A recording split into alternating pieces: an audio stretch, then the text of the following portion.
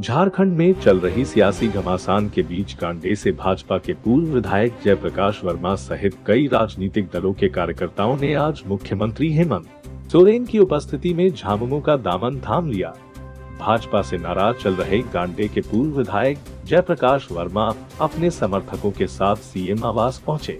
CM आवास में उनको पार्टी की सदस्यता दिलाई गई।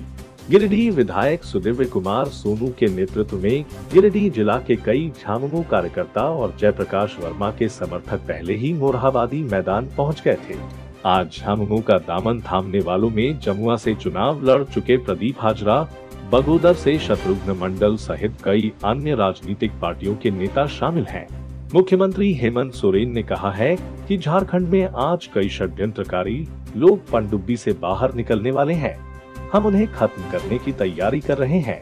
बस आप लोगों का साथ मिलता रहेगा तो हम इन सभी को पूरी तरह से खत्म कर देंगे।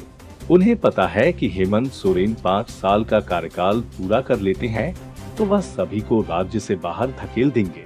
झामुमो की सदस्यता लेने के बाद जयप्रकाश वर्मा ने मुख्यमंत्री हेमंत सोरेन झारखंड की शान है। उन्होंने कहा कि आज हेमंत सोरेन के नेतृत्व में झारखंड का विकास हो रहा है। पंद्रह साल से अधिक समय तक सत्ता का सुख भोग चुकी भाजपा ने पहले राज्य को नुकसान किया, वहीं आज हेमंत सोरेन को ईडी के माध्यम से परेशान करने पर तुले हैं। लेकिन हम उनकी साजिश को कभी भी पूरा होने नहीं देंगे। मुख्यमंत्री ने कहा कि अब समय आ गया है कि झारखंड के अनुसूचित जाति, जनजाति, दलित, अल्पसंख्यक सभी लोगों को एकजुट होना होगा। भाजपा का नाम लिए बिना हेमंत सोरेन ने कहा कि जिन लोगों ने 20 साल सत्ता का सुख भोगा उसने राज्य निर्माण के बाद झारखंड को और पीछे ढकेल दिया। 20 साल का कार्यकाल काफ़ी दर्दनाक रहा है। हमारी सरकार किसान युवा, दलित के लिए काम कर रही है।